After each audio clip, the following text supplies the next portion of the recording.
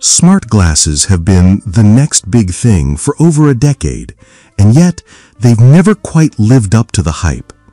But a small startup, Brilliant Labs, thinks it has cracked the code with a pair of AI-powered glasses called Halo. At first glance, Halo looks like an ordinary pair of Wayfarer-style specs, but inside that 40-gram frame, a camera, a microphone, bone conduction speakers, even a color OLED display. And somehow, the battery lasts up to 14 hours. But here's the twist. Halo doesn't overlay images onto the lenses. Instead, it projects into your peripheral vision. Slim design? Yes, but some might find it less immersive than pricier models with prism-based displays.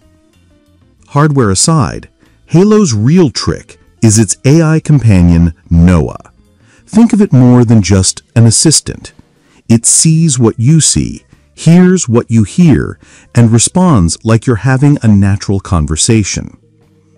But Noa isn't just answering questions. It's paired with something called narrative, a memory system that can recall names, faces, and even conversations from years, even decades later.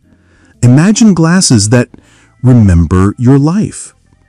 Of course, that raises the big question, privacy.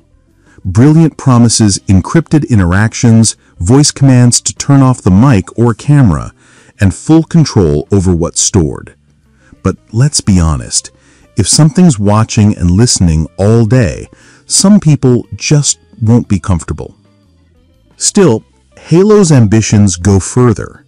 Brilliant claims you can literally build apps by talking to your glasses. Just say what you need, and Noa supposedly creates an app for it in seconds.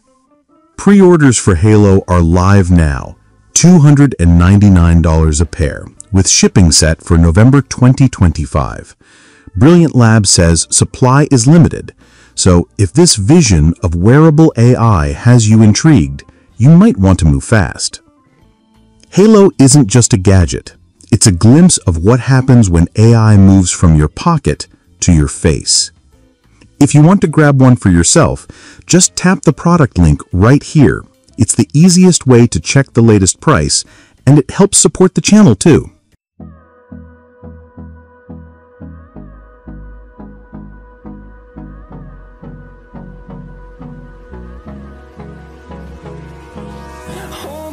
Close till I get up.